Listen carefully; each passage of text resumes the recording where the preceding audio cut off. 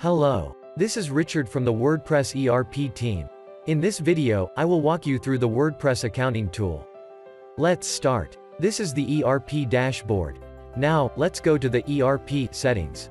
From here, you can configure the company start date, financial year, date format, currency and more.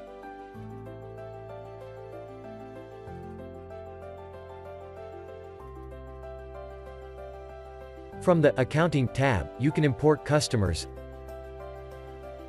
set up currencies, and financial year.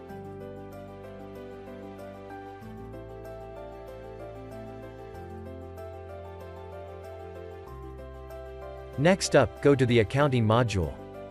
Here is the Chart of Accounts options. From here, you can see all the system reserved accounts.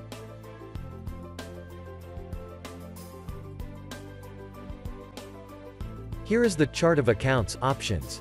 From here, you can see all the system reserved accounts. You can also create custom accounts by selecting the type of accounts from the drop-down. If you want to create a bank account then select the bank from the drop-down. This way, you can include as many bank accounts as you want.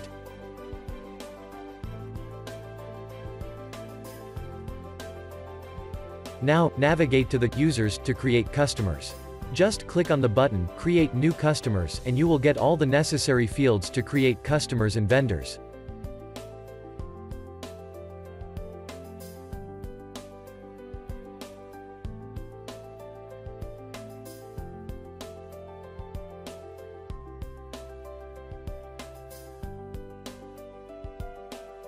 Now, let's create a vendor the same way we created the customer.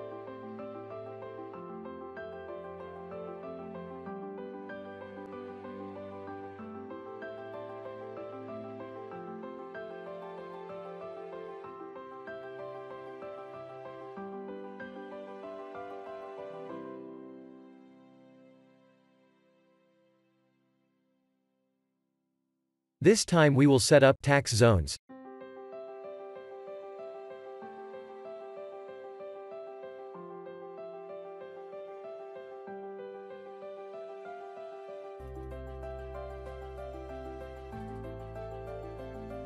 Tax categories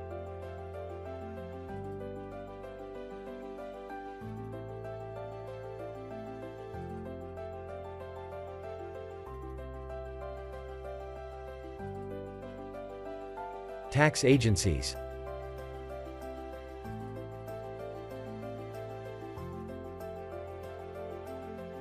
After having set these up, you can add the tax rate.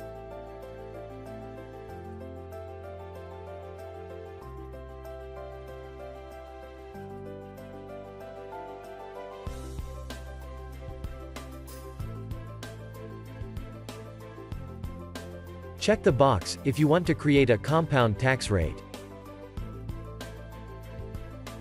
If you have some due taxes to the agencies, you can pay them up from here. Now, we will create a product. At first, we need to create product categories.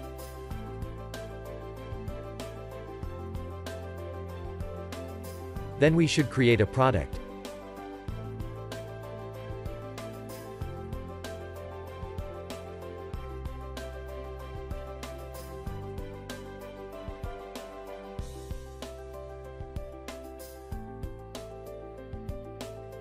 This time we will insert some opening balance into the system since we have just started using the accounting for the first time. You can also select the financial year for the opening balance sheet.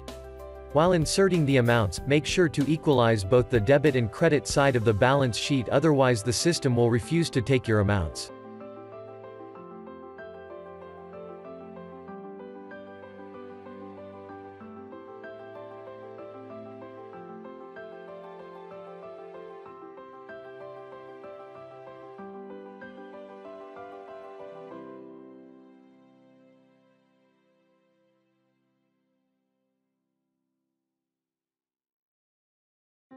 With the bank accounts option, you can transfer money between the banks you have created just now. You can not only select any banks from the drop-down but also can specify the transfer amounts at your disposal. Now, let's hop onto the transaction option. Firstly, use the purchase option to buy some products for your inventory. Use the create purchase option to create a payment voucher for your vendors.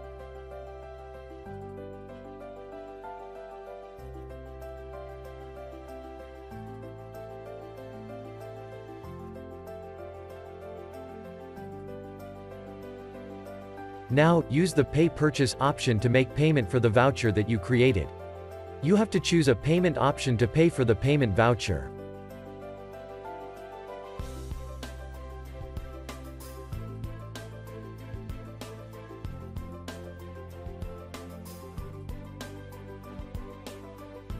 You can also use the Create Purchase Order option to create draft payment vouchers for future reference. If you want to insert any sale of your product, go to the Sales and hit the Create Invoice option.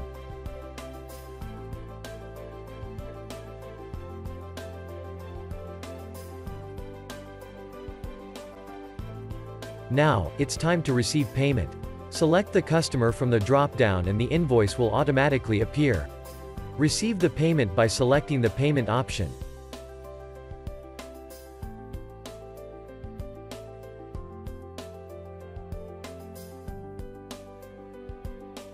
You can also use the Create Estimate option to make draft invoices or quotations. Now, let's insert some expenses. Use the Create Expense option to insert expenses.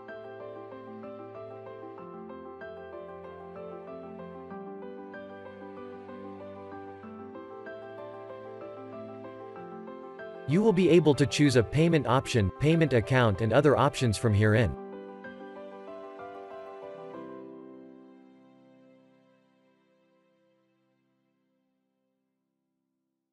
Hit the Save button when you are through.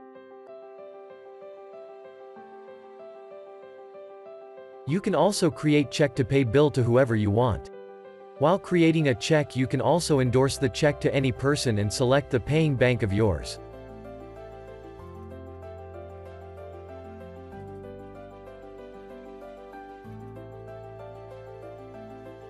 Like creating a check you can also create bill.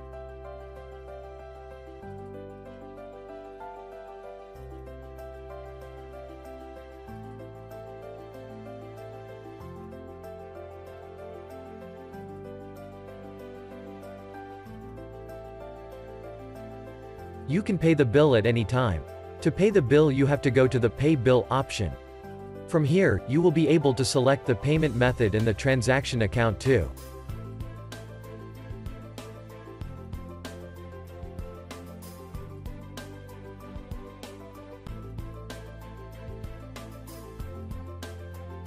If you understand the debit and credit well, then you can use the journal option to enter transactions into the system. However, while inserting a transaction using the journal you must equalize the debit and credit using correct accounting types.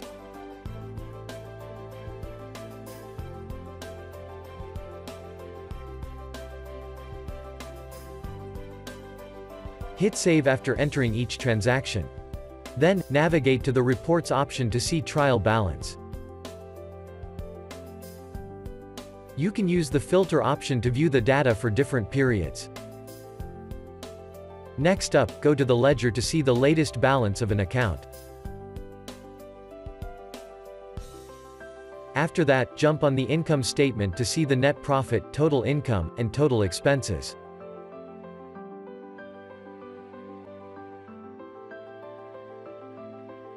Then go to the sales tax option to view the amount of sales tax. To generate this report you have to pay some sales tax. Finally, use the balance sheet to get the view of the financial condition of your business on a given or filtered period. You can also close the balance sheet from here. Now, pay the sales tax to the tax agency.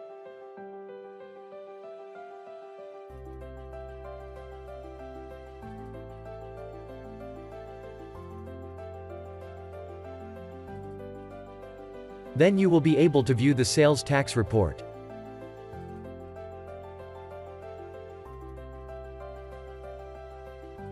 Here is how your dashboard will look like. Managing accounting is easy with WordPress ERP. Grab the accounting tool for your business now.